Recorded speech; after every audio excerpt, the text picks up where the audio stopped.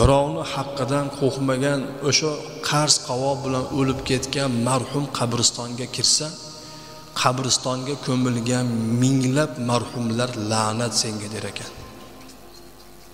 Bizga qo'shni bo'lib shu qabristonga ko'milganingga ming ming la'nat der ekan. Mana shu la'natni birinchi bo'lib yonidagi qabrni egasi aytar ekan.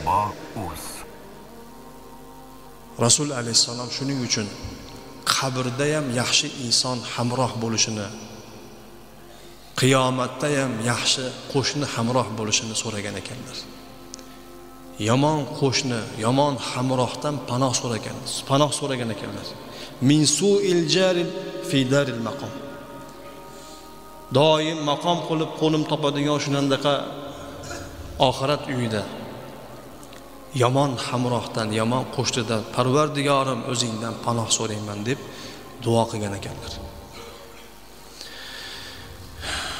Shuning uchun aziz birodarlar allohdan doim axloq odoblarimizni chiroyli qilishini nafsimizni poklashni nafsini poklagan insonlar najotga erishishini eshitib turar ekanmiz najot topguvchi bandalardan bo'lishimizni robbimizdan so'rab duo qilaylik rahmatan lil olamin payg'ambarimiz alayhissalomni duosini qarang azizlar biz shuna duo qilaylik allohumma اللهم آتي نفسي تقواها وزكها أنت خير من زكاها أنت وليها ومولاها marhabo uz ey parvardigor rasulullohni duosini qarang. Rasul alayhissalom kim biz kim?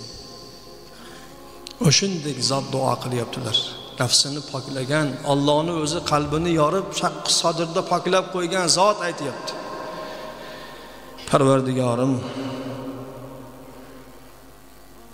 nafsimga taqvo bergin. Ati nafsi taqvaha nafsimga taqvo bergin. Va zakkiha nafsimni poklagin.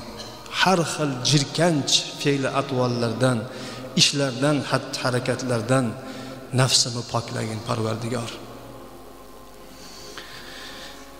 Anta xayru man zakkaha nafslarni poklaguvchilarni eng yaxshisi o'zingsan anta valiyuha va mavlaha. Chunki nafsni yaratgan uni egasi o'zingsan uni boshqaradigan mavlosi ham o'zingsan deb payg'ambarimiz alayhissalom shunday duo qilgan ekanlar. مرحبا اوس